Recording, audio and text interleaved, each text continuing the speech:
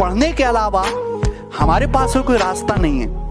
एक बात और है कि जो आदमी लोअर मिडिल क्लास होता है, एक और क्लास होती है लोअर मिडिल और अपर क्लास के बीच में भी एक क्लास आती है, जो लोअर और मिडिल के बीच में होता है।